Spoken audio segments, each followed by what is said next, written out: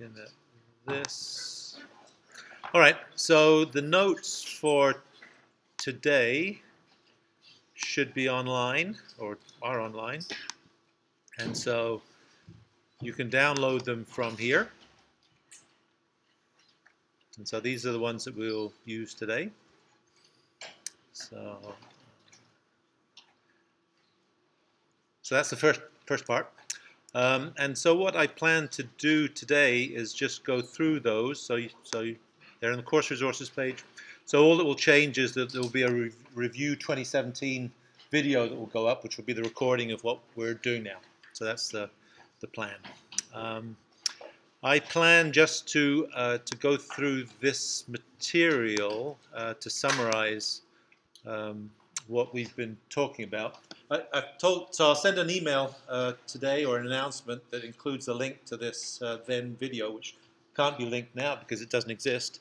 Um, but it will also uh, give details about the three questions in the test. So you know the test is three questions, always is. It's uh, 110 points per question, 100% is a full answer, so you can boost your score by 10%, uh, I guess. Uh, you can get top score would be 110%. Uh, it's not curved, it's an actual score.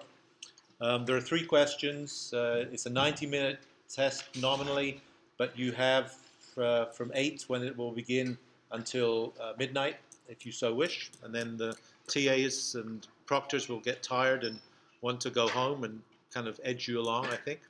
Um, there are three questions. Um, the topics are, uh, there's one question on viscosity and free body diagrams related to that. You can see examples of that in prior tests. A second one, and this will be in the announcement, on pressures at a point, uh, manometry, buoyancy, um, and there'll be one on fluid pressures on structures and their failure or displacement. And so, so those are the three topical areas. And so um, what I'll do today is I'll go through a list of equations that I think would be perhaps useful to you in the first part, and then I'll go through to summarize what I think is the remainder of the, the first three three weeks and one one third, three and one third weeks of the class, right? Which is what we had up to 4.1. So it covers the material up to including 4.1, which is the stuff we finished on Monday. Um, there's going to be a homework due uh, this Thursday. Next Thursday's homework, since there's a test on Wednesday, is due on the Sunday. That's kind of standard as well. We put it back by three days. You can still get it done by Thursday if you so wish, uh, but but that's the other facility, I guess, to you. Um, I don't know. I should probably stop talking about all this and actually do something. Um, hopefully, uh, scores will be much elevated over past years. Um, I'm not trying to catch you out. You can, if you think I'm spinning your yarn, you can check uh, the exams from previous years, midterms from previous years, with the review sessions, which are recorded, and see uh, how the veracity of my statements as to what's on the test, etc. Um, so it's not curved. The reality is, I've said this uh, at the beginning class, um, uh, the idea is to get you conversant with fluid mechanics so you don't hurt someone. You can hurt people. Uh, and, uh, you know, your, your solemn charge as, a, as an engineer to be is to ensure public safety and well-being. And so curving things means that, you know, the class could be a horrible class. No one could know anything, but because you're better than everyone else, you get an A the, the, the, good news that comes out of it, it may be bad news or appear to be bad news that it's not curved. The good news is that I think this class probably has a large, much larger proportion of A's than any usual class that is curved. And it's because it's kind of a, a bimodal distribution. Uh, and so you just need to make sure you're in the, you're in the front mode, the front hump of the camel. And so, uh, yeah, so that's it. Okay. Any questions? Before I spill the beans? Yeah. All right. Um, what do I want to do? I'll do it on a tall page. So I will do this, and I will do this, and I will do this. All right. So I told you what the components would be. So um, So I guess my point would be that if you know the expressions that we'll talk about on this first page, you probably have enough to be able to do the test. Of course, you need to know how to use them. And so uh, it's not just enough, I think, just to, to know what the expressions are. So viscosity also comes with the, the ideal gas law. So, and I did have a portion on that, but I took that out, I think, so maybe you don't need this. But you know with the ideal gas law, pressures related to temperatures in terms of absolute pressures, absolute temperatures. This is a gas constant for a particular gas. I had a discussion with Lubicha, for those of you who are also in Lubicha's class who couldn't work out exactly what the deal was here. And of course, density is equal to mass over volume. Um, and this is um, RT. And so sometimes you see this written in terms of uh, a volume. And so the expressions we're talking about are exactly the same. They're not incorrect. And maybe Lubicha uh, clarified that in the class that you have in 301. But this is the one that I always use. R is a particular gas constant for a particular gas. Uh, if it's uh, the universal gas constant, then it's rho universal gas constant temperature over the molecular mass of that particular gas. they're equivalent to what you're dealing with in, um, in Lubicha's class. So that's an aside maybe. Viscosity, Newton's law of viscosity. Shear stress is related to uh, a gradient of velocities through a coefficient, which is referred to as a dynamic viscosity, as opposed to kinematic viscosity, which we haven't uh, introduced. We don't need to. And we've done some examples. I think uh, we moved over it quite quickly, but there was an example in the notes that basically looked at the behavior of a of two fluids, mu1, mu2, something being pulled with some force T, which relates to um, tau multiplied by area equals T. Tau is a shear stress, and we can convert a shear stress into a force, which we often have to do by multiplying it by some area. Area would be the area of this plate, and if these are static, then in this particular case, the shear stress being applied here would be countered by, would be uniform throughout the system. So in this case, the shear stress all the way through this, which is causing this uh, behavior is this. And this is predicated on the idea that in this particular case, I guess, the velocity profile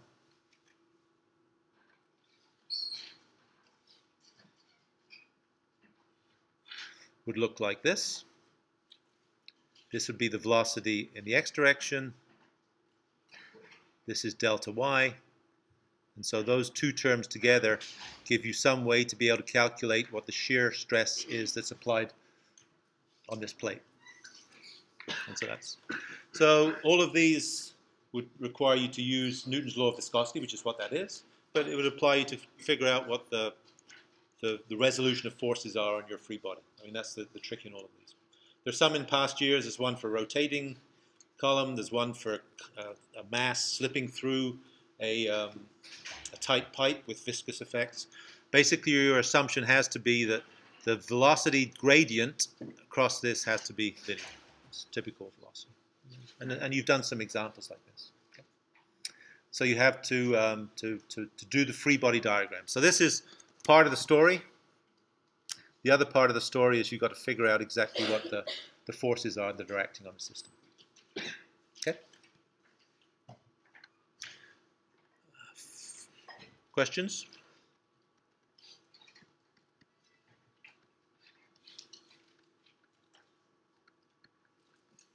So fluid pressures. What do we know? Well, we went through um, a derivation, but there are two key expressions that came out. First of all, you'll recall that we chose this coordinate system. And whatever we did, we ended up with two important expressions. Changes in pressure with elevation are equal to negative density times gravity, which is the same as the unit weight. Always true. And changes in pressure as you go horizontally. If you can get there in the same fluid, don't change. and so the consequence of this expression, this is always true. Um, and you may recall that we drew some figures uh, to look at pressures versus elevation. And if this is water, those figures look like this and like this for air.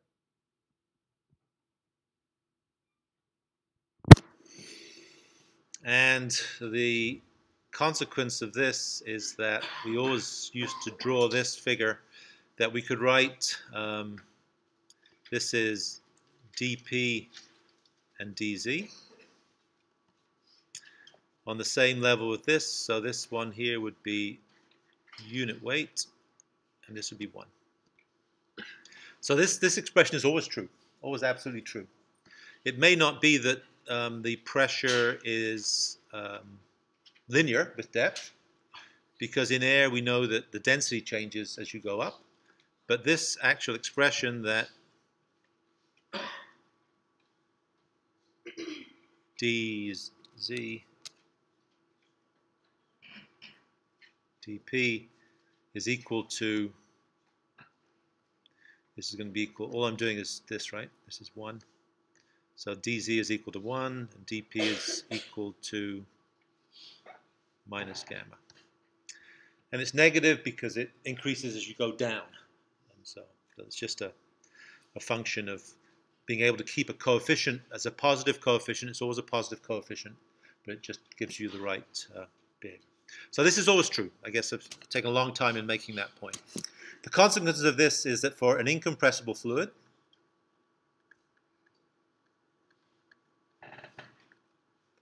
then we know that the pressure is equal to the pressure at some point plus the unit weight times the height below the surface, not z. h is positive, right? So you can work out whether things would go down or not. And for compressible,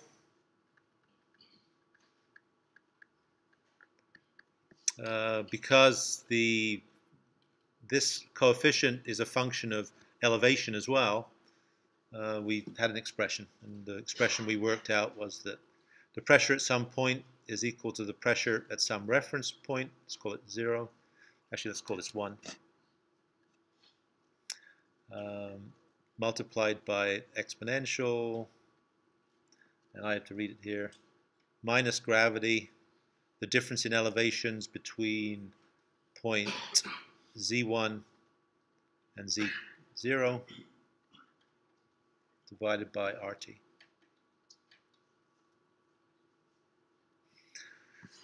And remember, it was for an isothermal fluid, so temperature doesn't change. This is 1, pressure point 1. So this would be the pressure point 1 as well, if you want.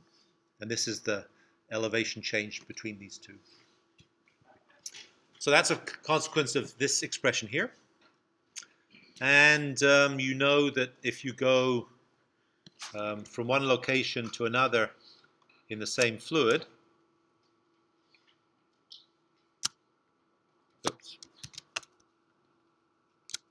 I'm getting pretty good at drawing, I have to say. I'm complimenting myself. If you can go from this point here to this point here in the same fluid and you're at the same elevation because the elevations haven't changed, so you've just gone horizontally only, uh, then if this is 1 and 2, then P1 equals 1, P2. And we also said, but not included here, is that the pressures that act the, at a point are the same magnitude in a static fluid. So Px equals Py equals Pz at a point.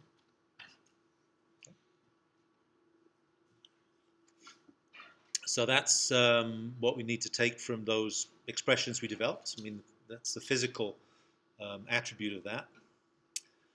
the other consequence, I suppose, of this are the manometer equations.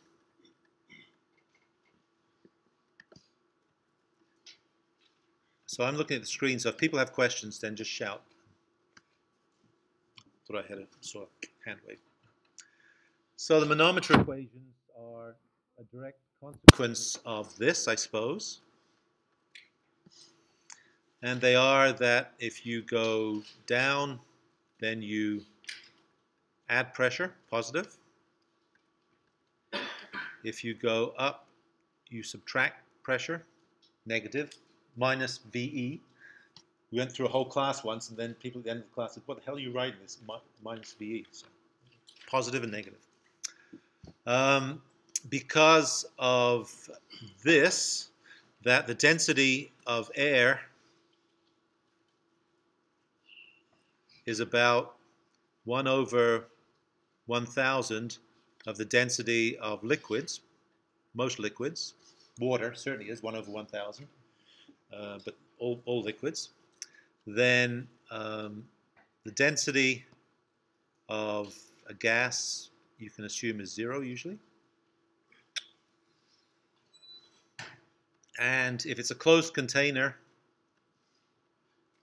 with only the the, the volume that's been made by vaporizing the, the liquid, then the, the vapor, the pressure, pressure is equal to the vapor pressure of that liquid. So we went through an example with um, a barometer, mercury, finger over the top, turns upside down.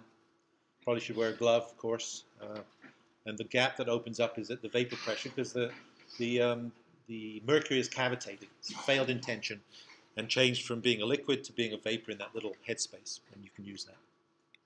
Okay? So, viscosity. There's one full question on viscosity. There's one full question on fluid pressures.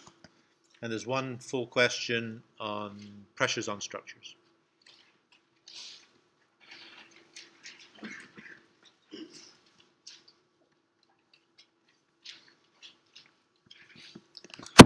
And, uh, and failure modes, I guess.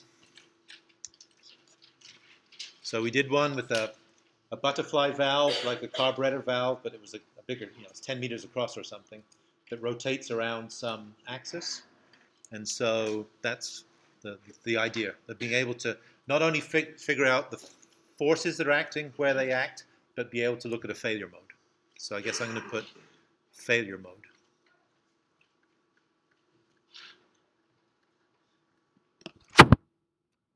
So, um, magnitude. I guess I should probably draw, but it might be helpful to draw a figure, right? You, have seen this perspective figure before, but let's do it anyway. Just so this is the x-coordinate.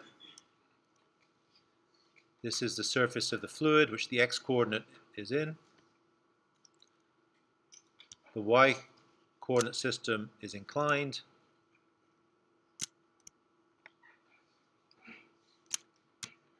I think I'm going to become an artist, artiste.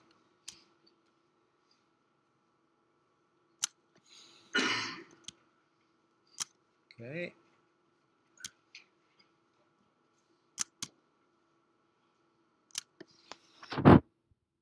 And so I'm trying to think, uh, this could be length A, B. And the important um, coordinate for this, as you know, this is YC.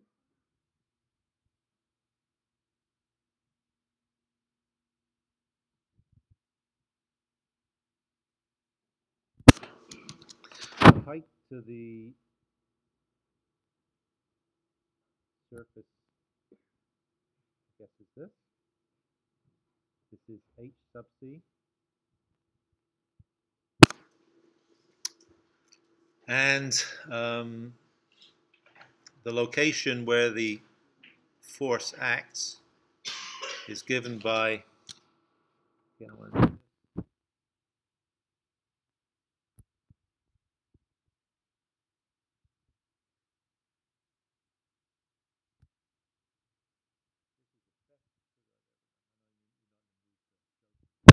serious stuff. The YR is where the resultant force acts. Always true. And it's going to get crowded if I draw that force, but that force acts at this point. And it's of magnitude FR. And it's always perpendicular to that plate. So hopefully you see what we've drawn here. It's a perspective view of a plate that's below the fluid. There's a coordinate system that's inclined. The plate sits within that coordinate system. The centroid of the plate is the middle point. It's a depth y from the top. Um, it's a depth hc from the surface. And the point where the force acts is somewhere below the centroid, which is where FR is, is pointing. And so that's kind of what that figure is. And you know from that that the magnitude of the force that acts is always um, the resultant force, unit weight of the fluid times uh, the area of the plate multiplied by h sub c, the depth of centroid. A is equal to, in this case, B, B times A. So H sub C, so the, this is the location of the centroid, which is the, the point in the middle. And this is just its vertical depth.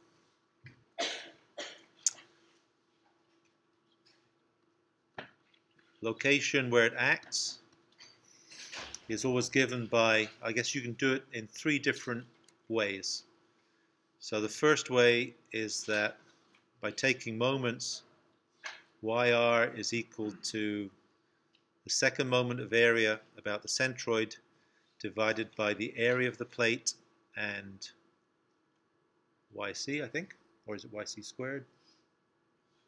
yc plus yc. You can write it in a slightly different way. The question last time is why did I write it this way and have it shown somewhat differently? I think it's useful to think of it this. You can also write it um, as a, just a fraction. But writing it this way means that it acts at the centroid plus a small amount. You could think of this as delta yc, right? This, this, this length here, without complicating this figure too much. Does the magnitude equation give it gauge pressure? It depends. It would give it uh, in.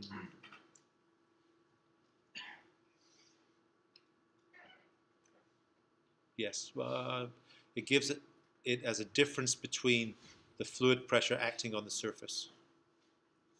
So if the fluid pressure acting on the surface, yes, just gives a different from the fluid pressure acting on the surface. So if you do, define the fluid pressure acting on the surface as 100 kPa and add this to it, then it'd be gauge pressure. If you define the fluid pressure on the surface, no, sorry, it'd be an absolute pressure. If you define it on the surface as zero, then it would be gauge pressure. It's a difference in pressure. Okay, so this force is given as a difference in pressure at the, the surface. Sorry? IXC is uh, by looking at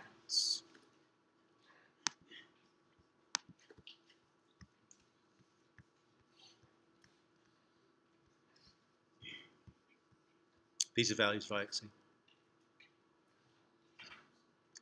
You suggest that that's something that we would add to our equation? If you need it, you'll be given it, but you could, you might want to know this. You, um, you know, can't give too much away. Yeah, you'll be given it. You are going to be given it. You don't need to take that along, and you may well need it, based on what we just said. Okay. You said you, you, you'd be given those IXC values? Yes, I did. And I don't lie too much. I know you're not in the mood for humor this morning. yes, you will be given them. So that's one way to do it, right? So that's one way to get location. Uh, force will always act perpendicular to that plane. Fluid pressures always act perpendicular to a surface. And so you know the orientation of this. We did talk about the resultant forces. So I don't think it's really specific to um, fluid forces on structures, but whoops. But we did talk about forces in y and forces in x. That you can always get the resultant if you need it as equal to just Pythagoras.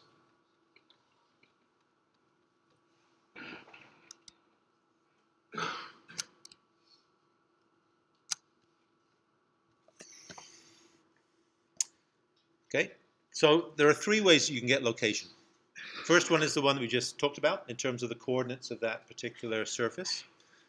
The second one is to resolve forces. So in other words, if you have a, a plan view of a, uh, sorry, a, a section view of a plate that looks like this, I guess that's not going to do it.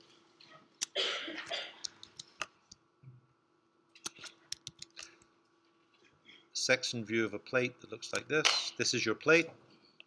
You know that the fluid pressures acting on this, if the water surfaces here, are going to be some magnitude of a pressure acting at this point, some magnitude of a larger pressure acting at this point, and what you can do is divide it into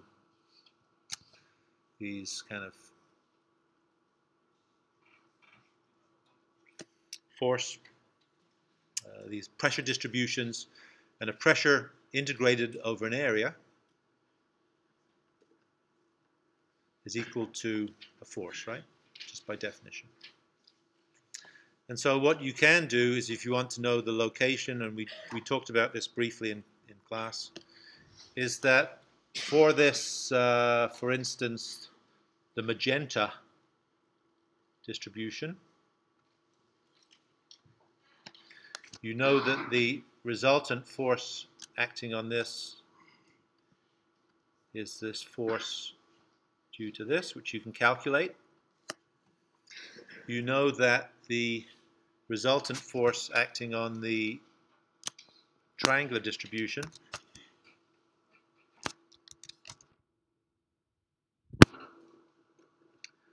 is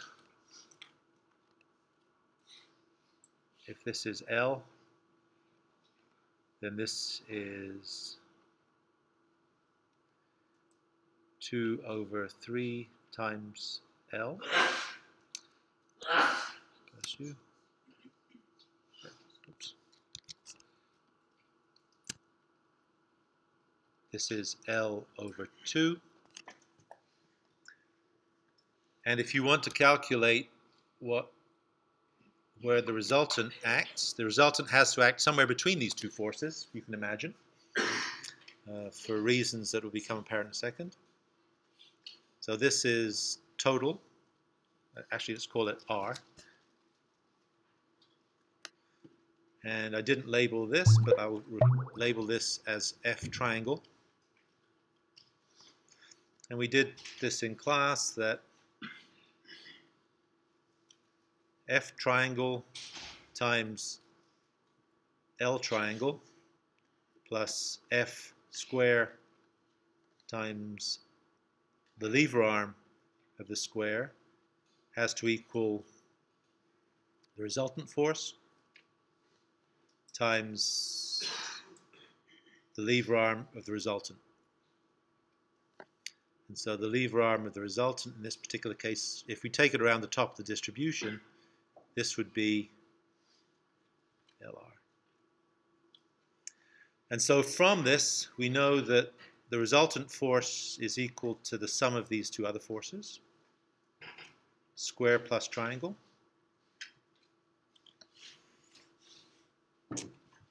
So if we can calculate this, which we can, just from the distributions, uh, and the distribution of this would give you the force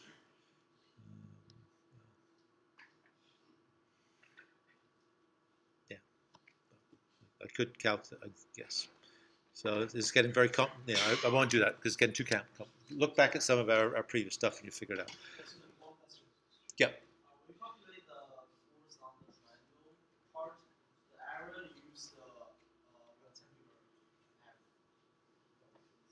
Say it again? The-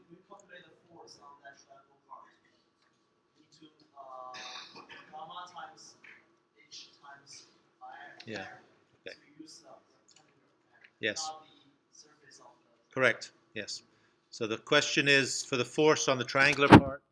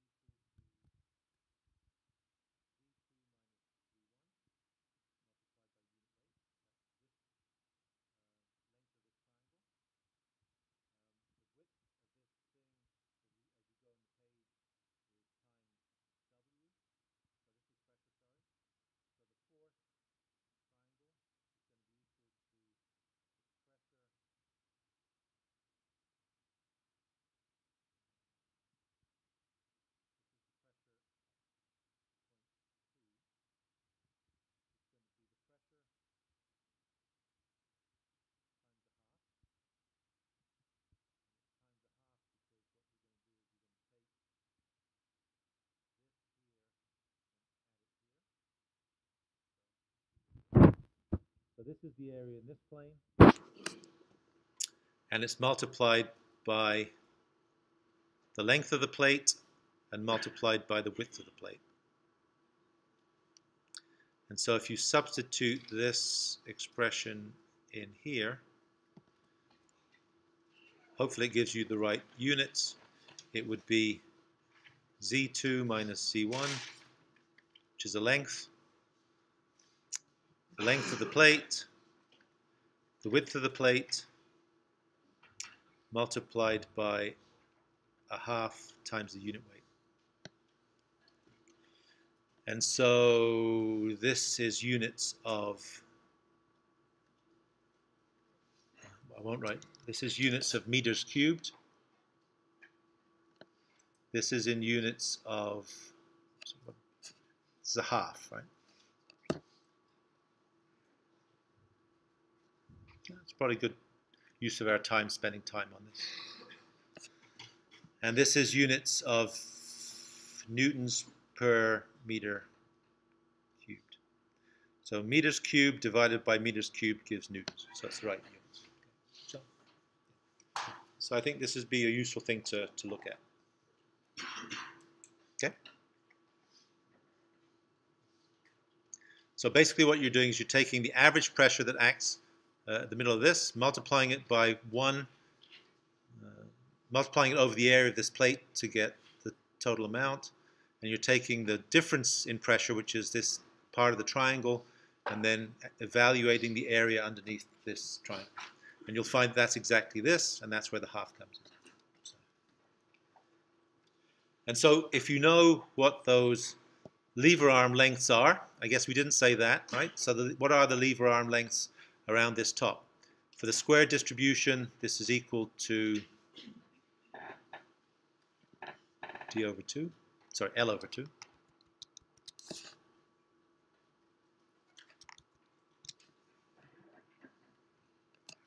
And for this, it's equal to 2 thirds L.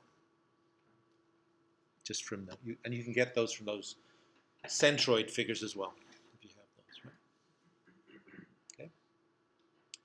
There, there is a third way to do it, and we didn't really go through that, and I think you don't need this, but you have it just in case. Uh, we talked about using the behavior on a, a plate. And there was an example we showed that had three ways of solving these things for a, a plate with a fluid on top of it. where this was inclined at 45 degrees and it was distance 1 here and distance 1 here. So yeah, this one, this length 1 meter. This length is 1 meter. And the question is, what's the force acting on the plate, just like this? And so the way to do that is to basically divide it up into a free body. And the free body, let me draw the graph up here. The free body is this. And there would be a pressure acting here. There would be a pressure acting on the surface, which in the case that it's a free surface is zero. There would be a weight of this thing. And I can't draw it very well, but there'd also be a pressure acting uh, here. This pressure and this pressure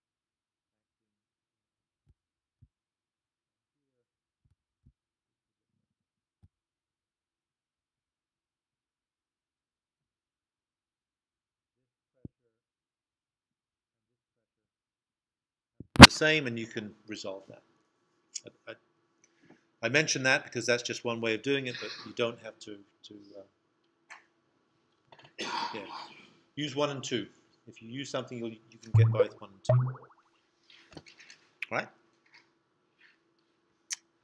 So that's fluid pressures on structures. Um, I guess what we haven't said is that the other part is failure modes.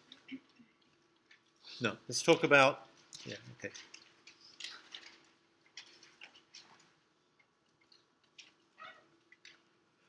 And I guess two, two important points is that in this case here, we took moments around this point to be able to resolve the, we said that since we can get this, since we can get this and this, and we can also know exactly where these simple prismatic or triangular force distributions act, we know where they act. We took moments around this point here, which was how we got this, this expression. This was just by taking moments. This was basically saying sum of moments are equal to zero. We could also have taken moments around this point here, or we could have taken moments around, actually anywhere, anywhere in the universe, as long as we know the, the, direct, the, the physical locations. It just happened to be easiest here. If we want to look at failure modes, and we did a little example that I recall was something like this.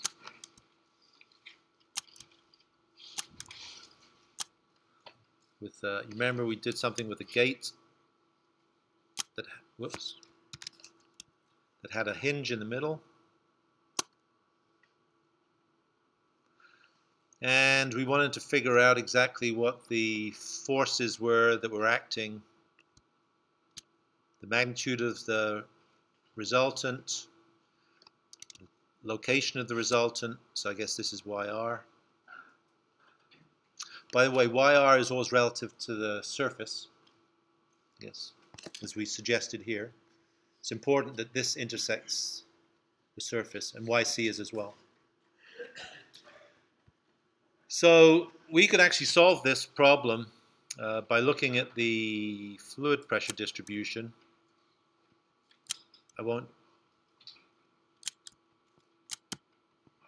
So the fluid pressure distribution on this face we could decompose like this, and we could do exactly what we did uh, previously to figure out where the triangular part acts and where the square part acts.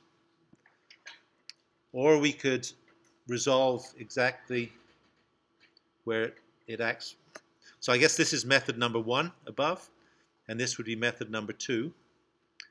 Importantly, both of these ways of resolving where the force acts are done by noting that the moment of the resultant is equal to the force multiplied by the location of the resultant.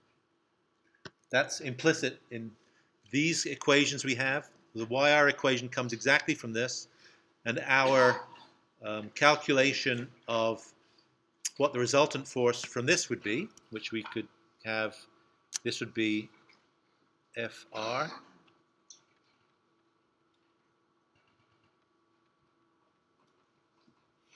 So they come from this expression. But the one important thing is, if you're looking at failure of this, you can't, you can get this by taking moments about any point you can take the point, moments about this point. You could take them about this point. You could take them about this point. That'd be fine to figure out what the magnitude of the resultant is.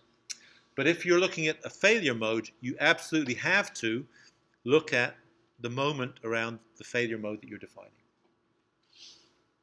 And so if you're trying to figure out, in this case, what force you have to apply here to stop this opening or whatever, um, it would be here, then you have to take moments around this point. Once you've figured out what these forces are, then you have to take moments about this point. And so it's a two-step process. And so this, so it's worthwhile knowing that. So for failure.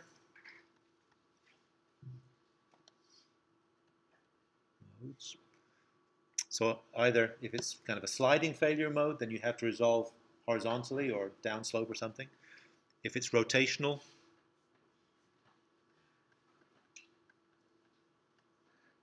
you need moments about fulcrum.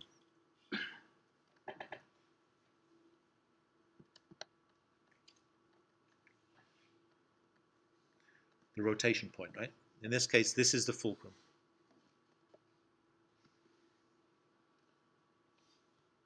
So that's important. Okay. And I suppose uh, the final thing is as part of this, so part of number three, you said buoyancy is, is part of the deal. And so uh, let's just quickly talk about buoyancy.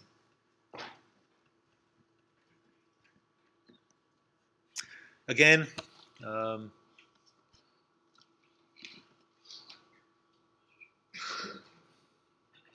whatever the shape of the thing is doesn't really matter. It has some volume. And what does matter is that the structure might have some weight to it.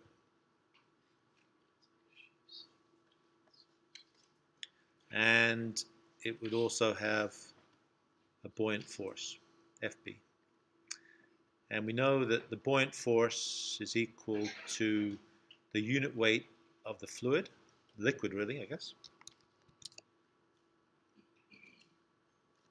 Um, use fluid, I guess could be either. Multiplied by its volume. So this is the displaced volume.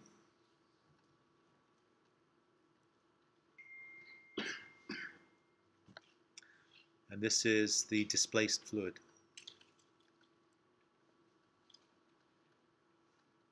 So the fluid outside here is here.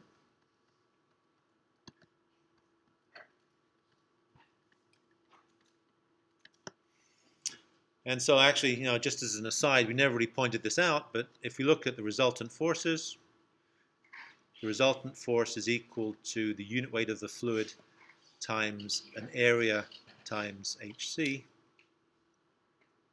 You think of this as a volume, so for instance, if this was something that had an area A and a height here hc, it's kind of the same equation, but that's just probably complicating matters. You don't need to know that, so if that confuses you, don't write it down.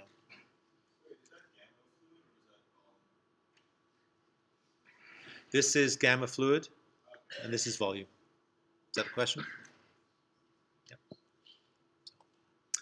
you said that the buoyancy force acts through the center of the area. I was just going to say that. The buoyant force acts through the center of buoyancy.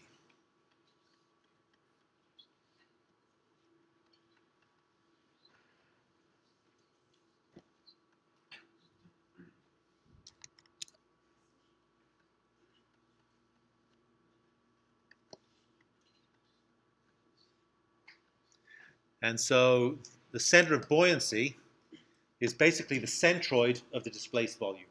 So in other words, if you could take this volume that's displaced and put a uniform density in that thing, the point that you could put that on your finger in the middle of that structure and it would balance exactly, which is the centroid by definition, is the point where that acts. So that's important. Also, when you look at centers of gravity, it's the same as the center of gravity of that displaced volume. And so that would be where gravity would act if that was, so I'm not sure. So what would that be? So the center of buoyancy for a structure that is a cube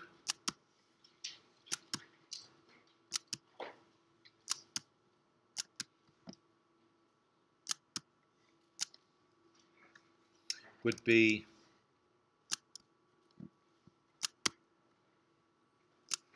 the axis that goes into here and into here and also from the top. So this is the centroid of that volume.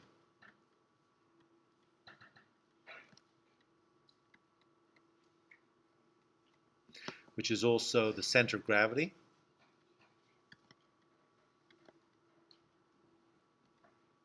which is also the center of buoyancy.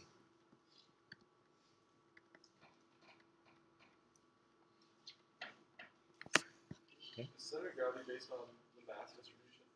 So that's assuming, It's a mass with a lever arm. Every little piece of mass has a lever attached to it. so that's assuming it's uniform distribution of mass. It's assumed. So in the case of a displaced fluid, it is, right? Because the fluid is displaced. In case of a structure, I guess it might have different densities at different points, but that's more complicated than you have to deal with here. So, uh, yeah, and so center of gravity means that uh, the weight acts through here.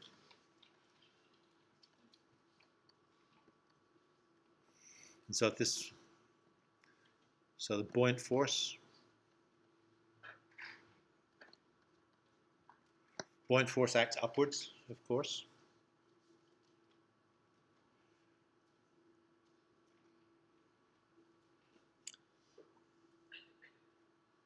And I guess maybe we should also say that the pressure is acting on something, force acts through center of pressure.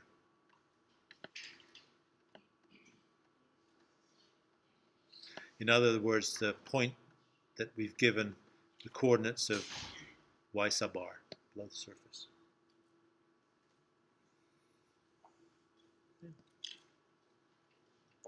So in, in previous years, I think what we've done is I've quickly gone through this, and then I've gone through about 20 pages of stuff um, that's culled from the notes that we've gone through so far. Now, if you still want to look through that stuff, maybe last year's probably has that, I'm pretty sure and certainly years before. So there's there's all those resources. But I plan to post this. Um, I don't. I mean, we're basically five minutes out of time. Um, I'm happy. Five minutes until we're out of time. I don't think we have a chance to go through that. Um, I'll show you what that is just by zipping through it. Mm, stuff you've seen before. And so there's a, a narrative that comes with this in some of the previous recordings. And it's all stuff you've seen before. Ideal gas law, viscosity, you know you should look at this in some detail. There's an example for viscosity that we went through maybe in week 1, 2 or 1, 3, I can't remember which one. Surface tension, fluid pressures in, in liquids, fluid pressures in gases, uh, constant pressure with depth, manometer equations, forces on structures and resolving uh, moments, etc. Where forces, magnitudes of forces, where they act, centroids, resolving free body diagrams. This is the example I talked about, and buoyancy, and accelerations, of course. So. Did you guys lose interest already?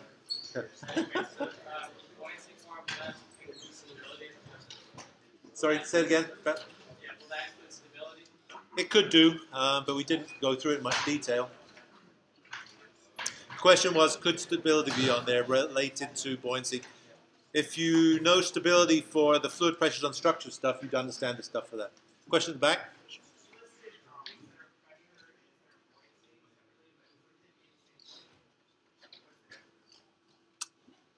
No, um, well, center of pressure really acts on a surface, and center of buoyancy can act inside the volume. So they are they are different. and they act at different points as well. Yeah, they are different. Any other questions? So go through 4.2 and 4.3. They're not on the test, but they're for this week. Uh, the deadlines for those for the quizzes are Monday and Wednesday, respectively. Homework due this Thursday.